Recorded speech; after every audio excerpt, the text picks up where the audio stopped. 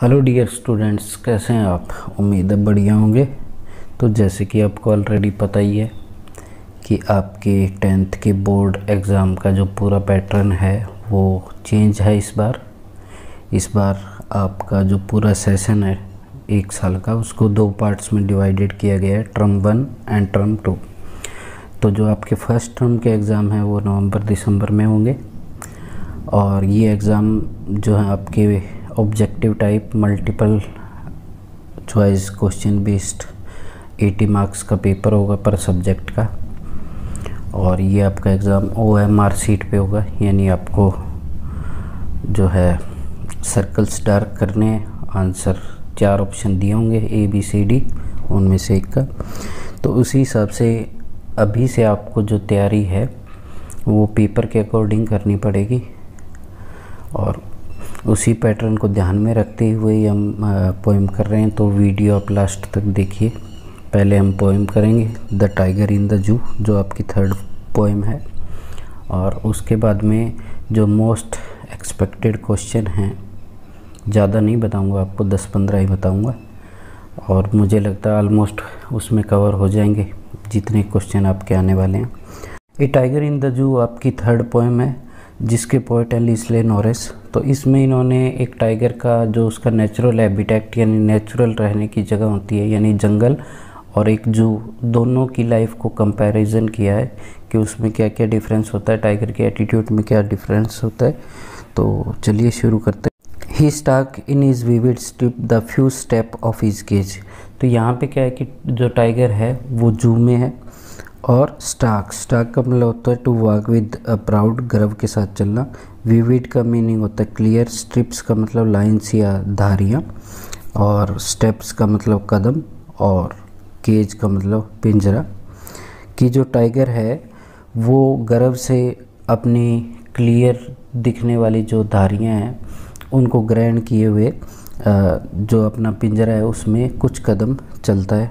On his pads of velvet quiet. और उसके जो पैड्स यानी पाँव के, पंजे के निचले हिस्से हैं, वो वेलवेट। वेलवेट ये एक टाइप ऑफ़ क्लॉथ्स होता है, जिसको हम मखमल बोलते हैं हिंदी में। It means a very soft cloths.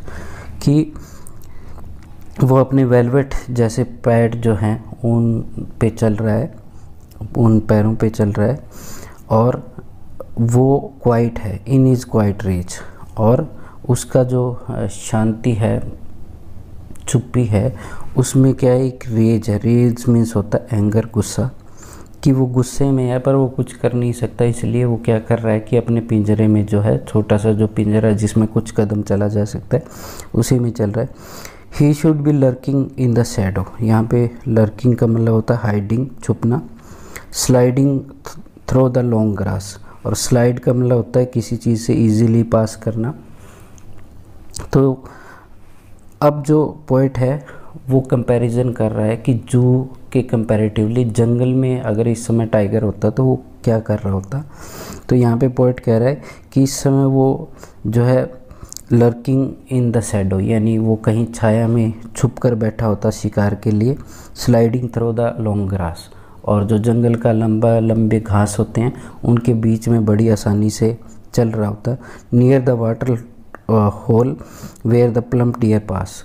और वो कहाँ पे होता कि जो पानी का स्रोत है, यानी जहाँ पर जंगली जानवर पानी पीने आते हैं, where the plump deer pass. और जहाँ से जो डियर हैं वो पास करते हैं। और कौन से डियर? प्लम, प्लम्प यानी मोटे ताजे जो फैटी डियर हैं, वो गुज़रते।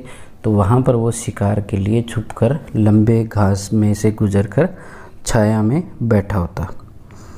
अब नेक्स्ट पैरेज देखिए। He should be snarling around the houses at the jungle edge कि इस समय जो है वो जो मकान है जंगल के किनारे पर, यानी जो जंगल का किनारा है, वहाँ पे वो स्नैरलिंग कर रहा होता। है स्नैरलिंग का मीनिंग होता है कि ग्राउलिंग, यानी गुर्रा रहा होता, जंगल के किनारे के पास जो लोग गाँव में लोग रहते हैं, उनके ऊपर baring his white fangs baring का मतलब तो होता है टू शो नेक्ड यानी दिखाना, कि वो अपने जो वाइट यानी सफ़ेद, और फैंक्स यानी टीथ कि अपने सफ़ेद जो दांत है, वो दिखा रहा होता हीज़ क्लॉज अपने जो पंजे है, वो दिखा रहा होता टेरराइजिंग द विलेज और टेरराइज का मतलब होता है फ्राइटेंड करना, भयभीत करना, कि गाँव वालों को डरा रहा होता, गाँव को डरा रहा होता। But he is locked in a concrete cell अब फिर से पोइट उसको दोबारा जू में ले आया एक टाइप से। तो परंतु वो क्या है कि अभी जंगल में नहीं है, असल में वो कहाँ है?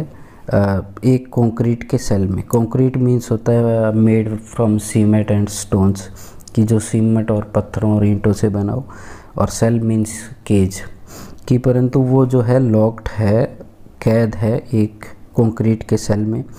His strength behind bars. Strength means होता है पावर, ताकत कि उसकी जो ताकत है, बिहाइंड बार्स का मतलब होता है कैद में, प्रिजन में कि परंतु उसकी सारी जो ताकत है वो जेल के अंदर एक प्रिजन के सलाखों के पीछे बंद है। Stalking the length of his cage ignoring visitors और अब वो क्या कर रहा है कि अपनी जो केज की लेंथ यानी जो लंबाई है, उसी को ही नाप रहा है। यानी उसी में चल रहा है जो थोड़ा बहुत जगह है केज में। इग्नोरिंग मीन्स होता है ध्यान नहीं देना। तो जो विजिटर्स हैं, उनको इग्नोर कर रहा है। यानी उसकी तरफ़ उसका कोई ध्यान या इंटरेस्ट नहीं है। अब लास्ट वन देखिए। He hears the last voice at night कि रात को उसको आखिरी जो आवाज़ें होती हैं रात की, वो सुनाई देती हैं द पेट्रोलिंग कार्स और वो आवाज़ें होती है पेट्रोलिंग कार्स की, यानी जो गश्त करने वाली पुलिस की गाड़ियाँ होती हैं, उनके सायरन की and stare with his brilliant eyes at the brilliant stars और क्या करता है वो अकेले आसमान में चमकते हुए सितारों को अपनी चमकती हुई आँखों से देख रहा है। तो यहाँ पे पोइट का इस लाइन का मीनिंग ये है कि जो स्काई है वो जू में भी सेम होता है और जंगल में भी सेम होता है। तो वहाँ पे लेटा हुआ जो टाइगर है वो अकेला आसमान के जो तारे हैं उनको अपनी चमकती हुई आँखों से निहार रहा है। तो दोस्तों, ये तो थी आपकी पोएम अब जैसे कि आपको पहले बताया कि आपके क्वेश्चन आने वाले हैं इस बार मल्टीपल चॉइस के। तो जो मोस्ट इंपॉर्टेंट क्वेश्चन हैं कुछ, वो हम कर लेते हैं। कुछ इम्पोर्टेंट पॉइंट्स हैं इस पोएम के जो हमें माइंड में रखने हैं। इसमें पहला क्या है? इम्पोर्टेंस ऑफ़ फ्रीडम कि इसमें जो पोइट है, वो क्या चीज़ एक्सप्रेस कर रहा है? कि फ्रीडम की क्या इम्पोर्टेंस होती है। और दूसरी चीज़ क्या है कि यहाँ पे पोइट जो है, वो कंप्रीहेंशन कर रहा है, तुलना कर रहा है किस चीज़ की? कि टाइगर जो है, वो जू में कैसा है और अपने नेचुरल हैबिटेट यानी जंगल फॉरेस्ट में कैसा है? तीसरी चीज़ जो हमें माइंड में रखनी है, वो है टाइगर का मूड कि जब टाइगर अपने नेचुरल हैबिटेट यानी जंगल में होता है, तब वो जॉयफुल और हैप्पी होता है, और जब वो जू में यानी एक टाइप से जेल में होता है, तब वो क्या फुल ऑफ़ रेज यानी ही इज़ एंग्री और वो ट्रबल में है अनहैप्पी है। अब देख लीजिए क्वेश्चंस फ़र्स्ट क्वेश्चन है how does tiger feel in a cage तो इसका आंसर आएगा एंग्री कि वो गुस्से में है। ये ऑप्शन में आपकी रेज भी आ सकता है। तो ये दोनों चीज़ आपने ध्यान रखनी है एंग्री और रेज मीनिंग इनका एक ही है। Who is the poet poet आपको पता ही है। Option B Leslie Norris. उसके बाद में थर्ड देखिए कि where does the tiger snarling कि जो टाइगर है, वो कहाँ पे स्नैर कर रहा है?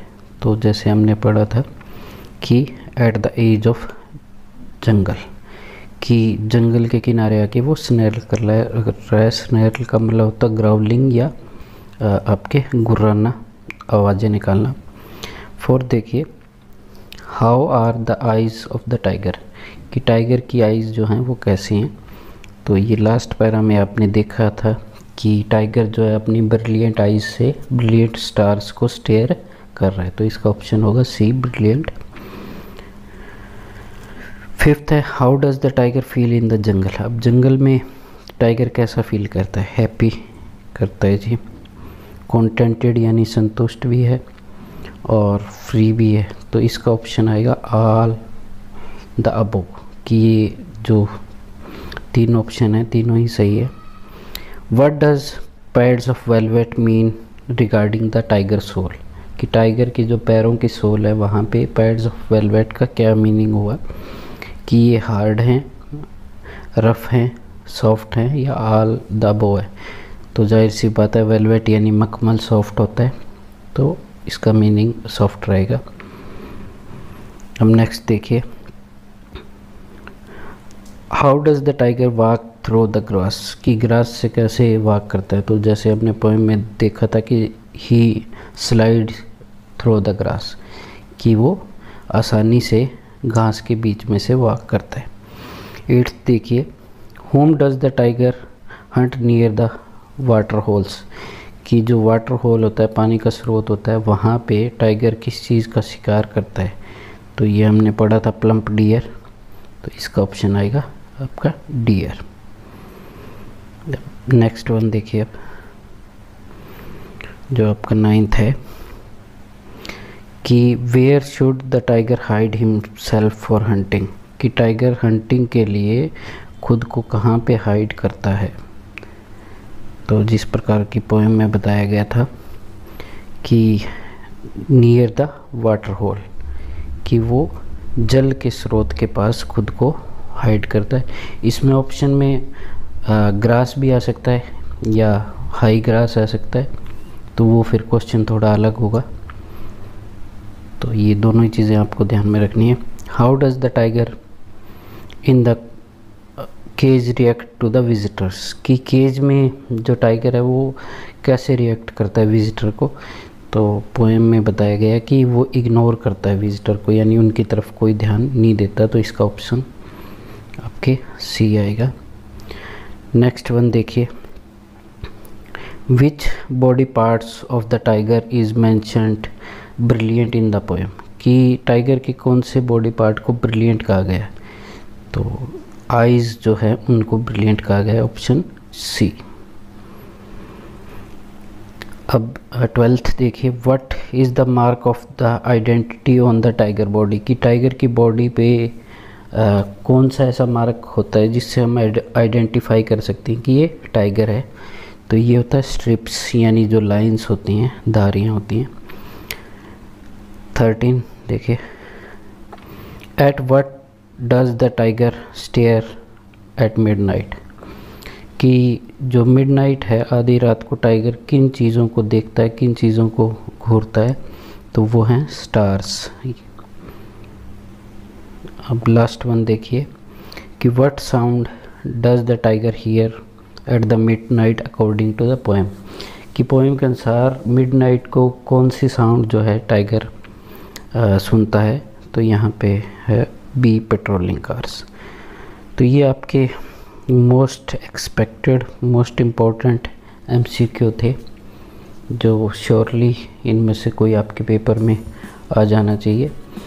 और इनका जो पीडीएफ है वो आ, मेरे टेलीग्राम चैनल पर उपलब्ध है। ये जो अभी आपको करवाए हैं तो आप डिस्क्रिप्शन में जो आपका टेंथ क्लास का ग्रुप है इंग्लिश स्टडी मटेरियल का, उसको ज्वाइन कर सकते हैं। तो होप आपको वीडियो पसंद आया होगा। तो भाई, पसंद आया है लाइक करें तो बढ़िया, नहीं भी करें तो भी चलेगा। पर दो चीज़ें आपको ज़रूर करनी पड़ेंगी। वो भाई, पहली तो ये है कि चैनल सब्सक्राइब कर लो।